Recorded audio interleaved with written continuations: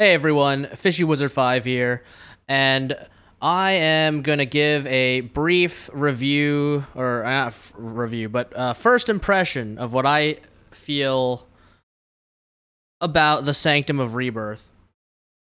Now, on release, day one, as you guys can see, I have like, I think three kills so far.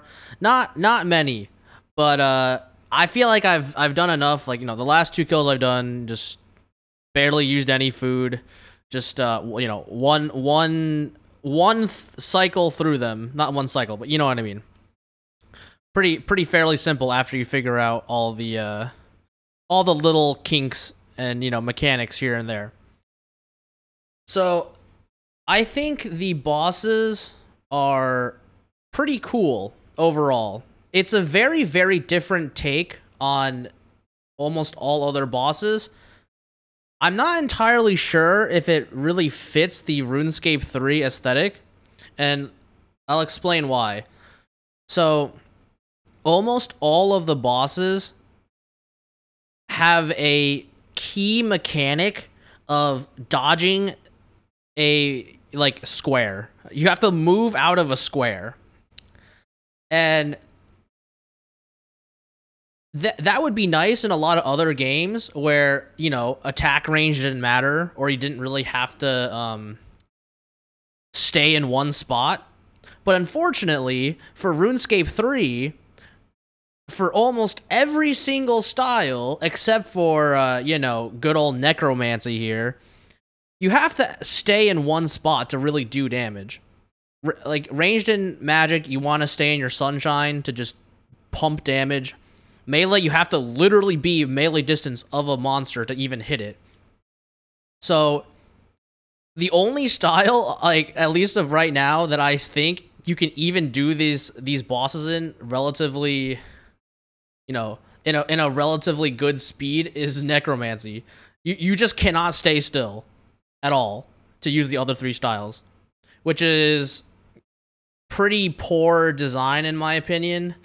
But you know, I don't know if that that's what I'm saying. Like, I don't know if this boss was it was made for like a RuneScape boss because you know you having to move so much really really messes with uh, the DPS of the other styles.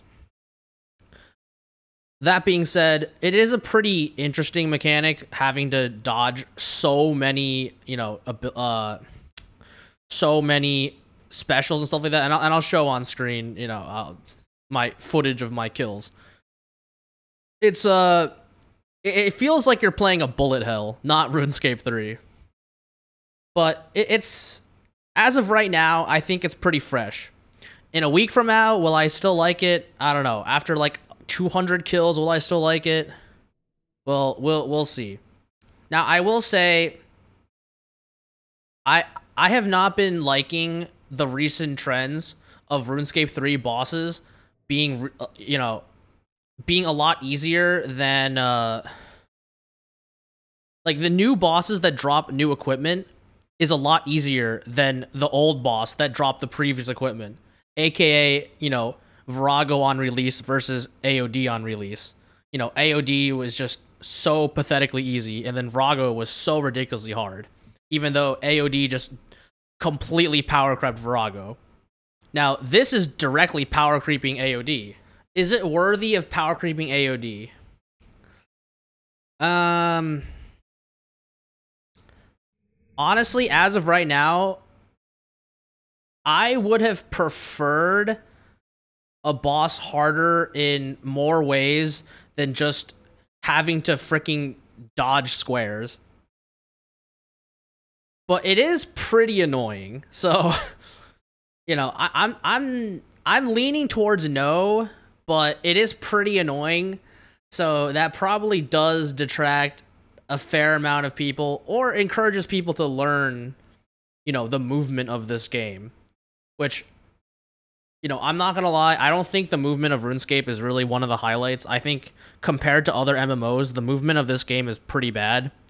So you having to like rely on that movement system for like the entire kill for a lot of people will feel bad but it, it is what it is at this point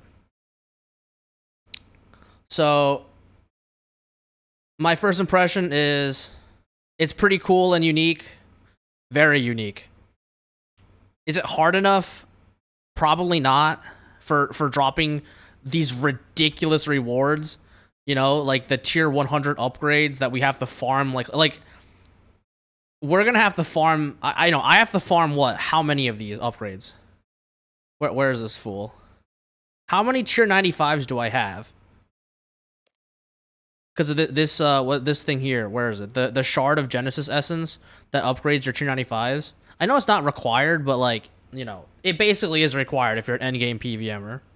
So I need one for staff of uh fractured staff, two for the wand and orb. So that's that's already three.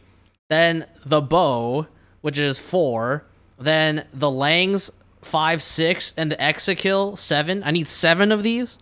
And then probably I need eight and nine for like the freaking uh the crossbows.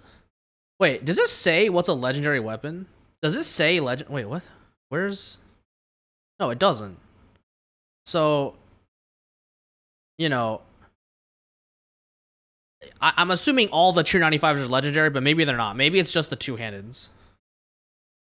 But yeah, if I need freaking nine of these eventually, that's that's insane. Like, who thought that was, that was a good idea? we need freaking nine of those uh those shards. But yeah, it's it's this boss is decent. My my first impression overall, it's decent. All right, I think that's pretty much all I have. Uh, anyone who have any anyone who has other uh, you know thoughts on Sanctum, please let me know in the comments below, and I'll catch you all next time.